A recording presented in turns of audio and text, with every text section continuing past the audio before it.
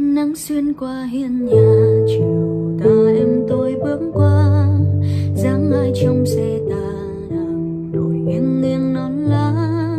Nếp xuân xanh yêu kiều, làn tóc bay bay dập chiều chẳng tương tư ai rồi sao